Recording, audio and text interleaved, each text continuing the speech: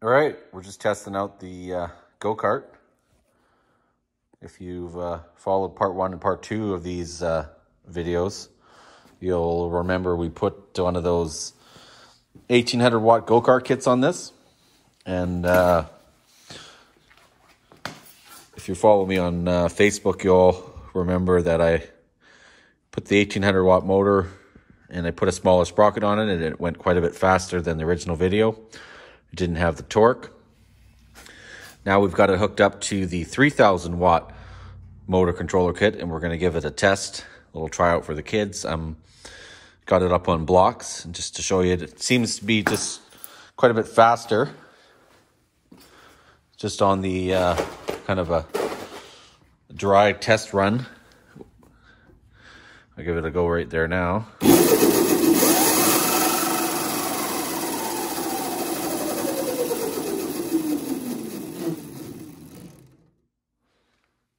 So I don't know if you can tell by the video, but I can tell standing here in person that that's got quite a bit more power than it did before. Now, I just wanted to point out this is the actual original motor off of the 1800 watt motor kit. When I ordered the 3000 watt motor kit, I was kind of expecting to get a bit bigger of a motor, but it's the exact same motor. So I didn't bother changing the motor out on it. Uh, the only difference between this motor and the motor that comes with this one is a sticker that says 3000 watts. They're identical. Same size sprockets and everything.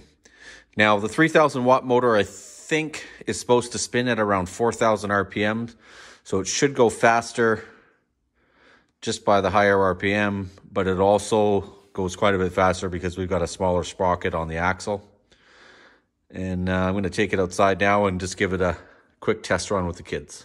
All right, this is our first test of the 3000 watt motor controller on the go-kart. Okay, buddy, give her a go. Whoa.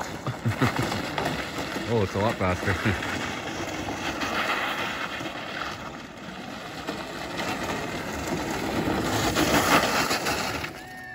oh, the chain came off. Hold on.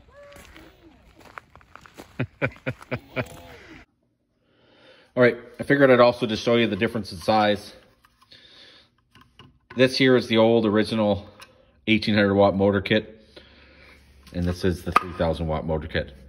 Everything is the same as far as the clips are concerned. Um, everything connects to the throttle the same. The power wires are significantly thicker coming out of the 1800 watt motor kit and the does have a few different clips uh, on this one as well.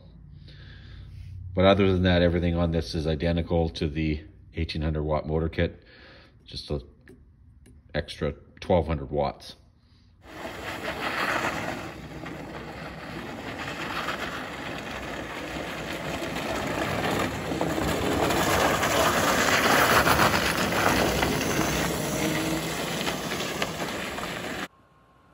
One of the problems that I ran into was charging the batteries. I only had a 12 volt charger, so I had to take all the wires off and charge each battery individually, which took quite a while. And so it was usually a couple days between using the go kart, uh, just because I'd have to take it off the one charger and put it on the other one, etc.